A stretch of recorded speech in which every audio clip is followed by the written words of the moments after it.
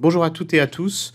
On va vous montrer dans ce tutoriel comment accéder à la nouvelle interface CIDES-UNES et surtout comment euh, s'assurer de faire la transition avec l'ancienne plateforme tout en conservant votre contenu. Première étape pour réussir votre transition à la nouvelle plateforme CIDES-UNES, c'est d'être capable de vous connecter à la plateforme euh, avec votre identifiant universitaire, votre adresse mail universitaire, celle qui finit par u-bourgogne.fr.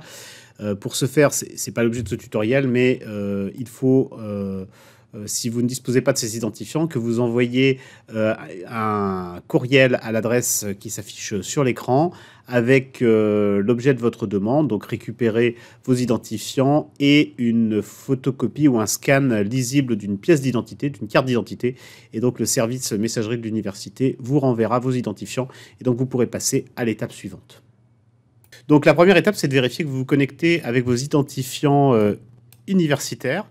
Euh, pour ma part, c'était pas le cas, donc je me connectais par un compte local, en cliquant ici, et j'avais un identifiant qui était Dijon. Un composite de mon nom et de mon prénom. Donc malheureusement, ça n'aurait pas permis à la nouvelle plateforme de, me, de faire le lien et de retrouver mon contenu. J'ai dû donc faire activer une connexion par l'université en sélectionnant ici mon institution, Université de Bourgogne, en me connectant avec mes identifiants universitaires. Une fois que euh, je me suis connecté avec cet identifiant universitaire, je clique ici en haut à droite sur le petit bonhomme pour vérifier que c'est bien mon adresse U-Bourgogne qui me sert à me connecter. Si ce n'est pas le cas, il n'y aura pas de lien qui sera fait entre mon contenu sur la plateforme CIDES actuelle et mon nouveau contenu. C'est donc absolument fondamental de faire ce changement si vous vous connectez par un compte local. Pour ce faire, il faut envoyer un mail à la scolarité du second cycle dont je vous marque l'adresse euh, sur cet écran. Maintenant que vous avez effectué cette vérification, il va falloir vous inscrire sur la nouvelle plateforme CIDES-UNES. Pour ce faire, euh, il suffit de cliquer sur le lien de la présentation qui a été faite par le professeur Sanson lors de la réunion euh, des enseignants, qui nous dirige vers le site CIDES-UNES. Et donc, euh, il faudra demander votre inscription au module Studio, qui est le module qui permet de saisir le contenu de Simologique en accès anticipé. Et donc, il faudra cliquer ici, euh, se connecter avec ces fameux identifiants universitaires en sélectionnant pour le cas de Dijon, l'Université de Bourgogne ici. Et donc, en accédant à la demande euh, d'accès au studio, il faudra cliquer sur Répondre aux questions, comme je viens de le faire, et euh, renseigner votre profil. Moi, je ne le fais pas puisque ça a déjà été réalisé pour, mon, pour ma part. Et ensuite, vous allez recevoir les instructions de connexion au module studio sur votre boîte mail. Euh, bonjour à tous. Pour terminer ce tutoriel, je vais donc vous montrer comment vous connecter à CIDES UNES euh, Évaluation et rentrer euh, des questions. Donc l'adresse à rentrer dans votre navigateur, c'est celle-ci, https évaluation.unes.fr studio. Donc on va y aller ensemble. Vous rentrez Université de Bourgogne, puis vos euh, identifiants habituels.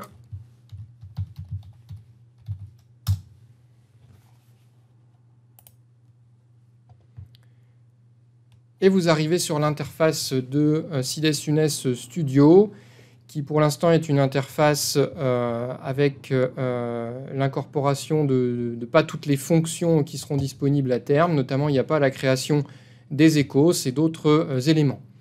ce qui est intéressant aujourd'hui, c'est à vous montrer, c'est l'interface de création d'éléments d'épreuve. Je clique dessus, vous rentrez les données assez habituelles, les auteurs, les co-auteurs, les relecteurs, la euh, spécialité euh, de la question que vous allez euh, créer. Donc je peux par exemple cliquer sur médecine interne. Et puis ensuite le type d'épreuve. Donc vous retrouvez ici tous les types de questions qui sont associées à cette réforme du second cycle. Les questions isolées qu'on connaissait déjà, les dossiers cliniques progressifs qui disparaissent, les mini-dossiers cliniques progressifs, euh, donc dans ces euh, dossiers progressifs, les paramètres sont pré-rentrés et donc on garde le caractère progressif des dossiers. L'étudiant valide la question 1, puis passe à la 2 et ne peut pas revenir en arrière.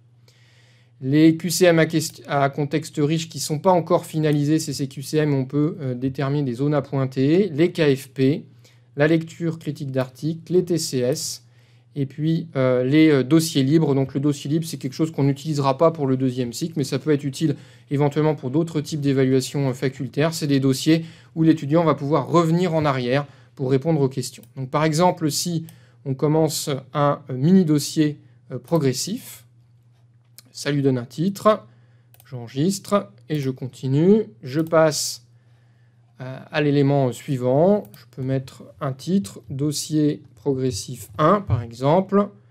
Je paramètre mes questions. Ici, je vous conseille de rien toucher parce que tout est pré-rentré par rapport au type de question que vous avez choisi. Et le paramétrage des réponses, c'est on peut choisir que l'étudiant réponde A, B, C, D, E ou 1, 2, 3, 4. Donc on laisse souvent A, B, C. Vous enregistrez et vous continuez. Les liens, c'est pour associer à votre question des éléments du référentiel de deuxième cycle, que ce soit dans le référentiel de connaissances, mais aussi de compétences, quand on créera par cette euh, plateforme des échos. Et le contenu, eh c'est très très proche de ce qu'il y avait avant euh, sur CIDES. C'est même un petit peu plus pratique, c'est plus fluide. Vous allez pouvoir ajouter une euh, question, vous tapez votre énoncé, vous posez votre question, vous rentrez une à euh, plusieurs propositions. Vous voyez que vous pouvez en ajouter ou au contraire en supprimer, puisque les QCM dans la R2C devront comprendre au moins trois, propositions. Vous pouvez en, mettre 4, 5, euh, mais il n'est pas obligatoire de mettre des QCM à 5 propositions. Donc on peut complètement adapter tout ça. ce qui est intéressant, c'est que ici, pour insérer des photos. CIDES était assez euh, contraignant. Là, ce nouveau euh, CIDES UNES gère le copier-coller. Vous pouvez prendre une photo euh, qui vous intéresse, faire un copier et venir ici la coller. Par exemple, là, j'ai collé le lien de connexion, mais on peut tout à fait coller une photo. Donc, je valide et je continue. Je peux ajouter autant de questions que je le veux. Et à la fin, je termine mon dossier. Je peux retourner alors sur le tableau de bord. Là, on va quitter et perdre ce qu'on a fait. Et vous retrouvez vos questions dans la euh, bibliothèque, non dans la gestion des éléments d'épreuve. Donc on retrouve celui qu'on vient de faire qui est incomplet, celui, un autre que j'avais rentré préalablement, qu'on peut dupliquer, qu'on peut éditer, qu'on peut ouvrir. Vous voyez, je l'ouvre ici et vous retrouvez exactement la même présentation euh, qu'avant. Vous pouvez être en vue étudiant sans les bonnes réponses ou en vue enseignant. Et donc on voit l'énoncé, la figure que j'avais tout simplement copié-collé, les questions avec les bonnes euh, propositions. Si j'ouvre euh, ce dossier progressif avec le petit crayon, on retrouve ce qu'on a vu tout à l'heure ensemble. Et si je vais dans le contenu, vous voyez que j'ai l'énoncé général et puis donc ensuite les sept questions euh, qui s'enchaînent avec la présentation habituelle. Donc il y a la question, les propositions A, B, C, D, E, et elles sont en face valides ou euh, fausses. La pondération, il est conseillé de ne pas y toucher, c'est-à-dire que chaque question a la même valeur. Vous pouvez mettre un commentaire par réponse, mais en fait il est plus adapté de faire un commentaire global à partir de euh, la petite étiquette en bas qui est plus grosse que les autres. Dans les options de chaque question, bah, vous pouvez insérer soit un QRM, soit un QRU, soit un CROC.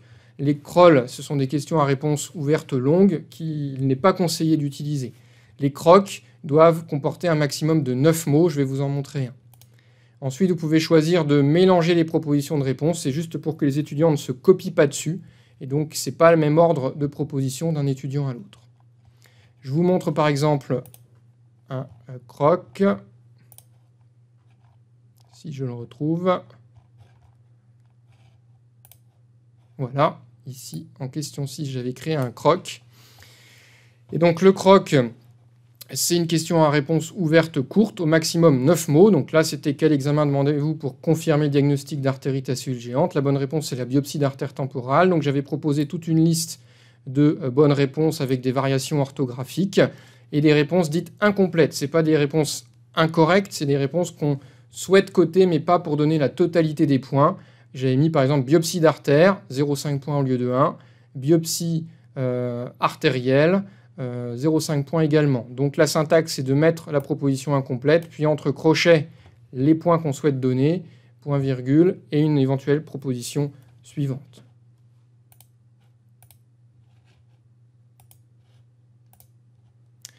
Et puis donc dans la gestion des éléments d'épreuve, il y a un onglet pour les échos, pour l'instant on ne peut pas en créer, et un onglet pour les questions euh, isolées avec exactement la même euh, présentation. Vous voyez par exemple une question euh, isolée avec son titre, le type d'épreuve qui est une question isolée, le contenu avec un énoncé et des propositions. Et ici vous voyez que j'avais mis un commentaire global pour l'ensemble de la question.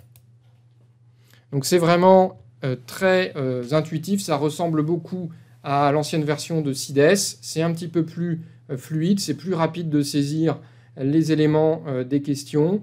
Il y a la gestion du copier-coller. Donc globalement, c'est un progrès. Ça vous permettra de gagner du temps en saisissant euh, vos questions et en les gérant. Et ça nous permettra en plus de créer des échos sous forme informatique sur le même support que les examens de connaissances. Voilà, j'espère que ce tutoriel vous sera utile pour vous inscrire, vous connecter et utiliser cette nouvelle plateforme. Et euh, je vous souhaite euh, de bonnes connexions.